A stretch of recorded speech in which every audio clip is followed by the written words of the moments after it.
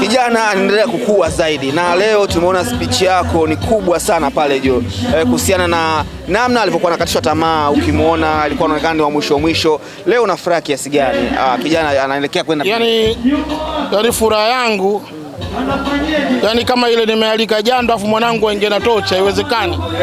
Ume, umealika jando, lazima mwanao aingie mapema. Kwa hiyo na furaha, manake nafasi kama hii alikuwa anaitaka Mbosso ya kuonyesha wananchi kwamba mimi nishakuwa, naomba sapoti yenu kidogo nifike mjini zaidi. Kwa la msingi nawashukuru Watanzania tuliokuwepo hapa, lakini vivyo na wao wanaangalia kwenye vyombo hivi, kikubwa kwamba kwa kushukuriwa ni Mungu peke yake. Yeah. hivi hivi hivi. Mbosso ni msanii wa namna gani uh, kinidhamu? Kwa sababu tumeona umetoka naye ya Moto Bendi akaja kwa, kwa Nasibu amempokea, lakini kuwa kule ume, umesimulia stori yake kwamba alikuwa ni msanii ambao anachukuliwa kama ni wa mwisho mwisho, lakini hakuwahi kukata tamaa. Ni msanii wa namna gani au ni kijana namna gani? Mimi na- na- na- naamini kijana mwenye kuwa na subira. Mbosso ni kijana mwenye subira, lakini mbali na hapo subira yake na alafu na vivyo, kwa sababu ka- kakaa kidogo chini kasoma Qur'ani ule. Kwa hiyo la msingi ile naye kama imemjaza katika kuwa na subira zaidi.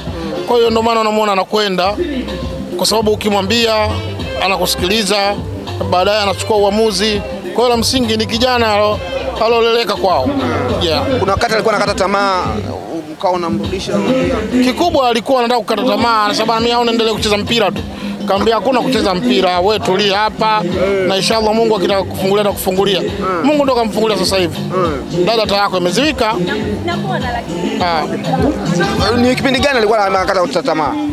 ilikuwa kwanza wakati pale tunaanza kuitengeneza tengeneza watu wanaposema ya moto wenyewe ya moto gani ni nini, unajua watu wanapenda sana kwanza kukatisha tamaa watu, lakini mbali na baadaye hii walivyo walivyovunjika pale, ikabidi yeye akaona hajapata mtu, akaona bora arudi kwao Rufiji aendelee na mambo mengine. Nikamwambia amna, hii riziki acha kwanza lipite, lakini baadaye na wewe utasimama, na kweli kasimama. Mm.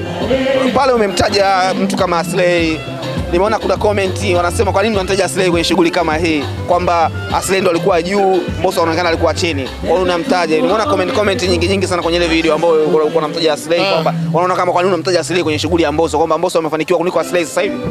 Sasa kwa nini simtaje? Kwanza wote watoto wangu, alafu vivyo ni naongelea reality kwamba bwana huyu alikuwa hivi, huyu alikuwa hivi, alikuwa hivi. Sasa nisimtaje maanake nini?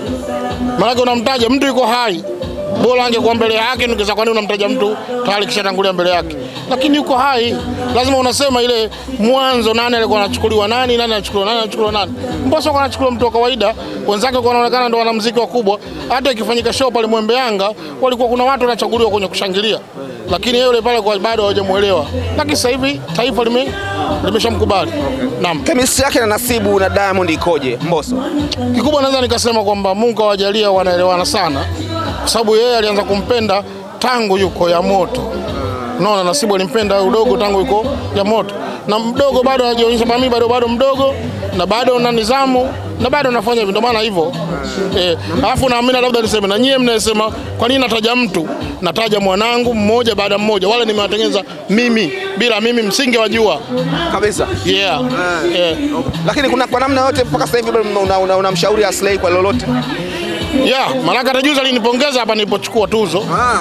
Alinipongeza akaniambia, mkubwa bwana, hongera. Nikamwambia hamna shida. Eh, na nikamuuliza kazi vipi, akaniambia bado najipanga. Kwa hiyo naamini kuna mambo anayafanya. Mimi napenda sana ajipange na vivile vile na akiona amekwama asione hofu kunambia, anaambia japokuwa kwenye mikataba yake huko redio ipo wazi na redio zingine zipo wazi tu, asaidiwe aendelee na mziki wake, kwa sababu ana talent, kijana wa watu. Kwa hiyo tunataka watu wafanye kazi, wapate riziki zao, walishe familia zao, ndio hicho kilichobakia. Kwa, kwa, kwa watafsirio kwamba akikwama kwamba mnamleta WCB au unamsimamia wewe kama Haina maana Barnaba yupo WCB, si yule pale sasa hivi anakula kiepe eh, anakula kiepe Eh, eh. Haina maana kwamba kila mtu uwe naye, Ah, ah, kumsaidia msaidie na mambo yake yaendelee. Kwa hiyo Barnaba sio sio sio WCB, lakini sasa hivi kasaidiwa na WCB na anafanikiwa na mambo yake yanaenda. Kwa hiyo la msingi hata yeye akiona bwana, kuna sehemu hapa nimekwama, bwana, fanya hivi fanya hivi fanya hivi, anafanya yeah. Kwani hakuna namna yoyote mlikoseana? Sijui labda yeye, lakini mimi sioni kwamba nilikosea. Mimi nilisimama kama mzazi kwenye sehemu yao, kama mzazi. Sababu na kile kipengele chako kile, kama kama una mtu aeleweki eleweki, unamwambia endelea kufanya vitu vyako. Tangia, na huo ndo utaratibu wa kwangu mimi. Nikiona wewe unaniona mimi sifai, lakini mie ndo mzazi wako nilokutengeneza, basi endelea kwanza hivyo basi. So, Ah, mpaka sasa hivi unakula pasenti yako kwa mbosi. bwana kwa Mbosso nakula pasenti yangu mpaka leo eh. na nashukuru Mwenyezi Mungu, na ndio maana muona mpaka saa hii saa nane sijaenda Kirungule bado, naangalia utaratibu wake hapo. Kwa hiyo hivyo mkataba na, na, na Mbosso ni milele, utaendelea kula mkate wako ama? Iyaka yaka na nastaimu.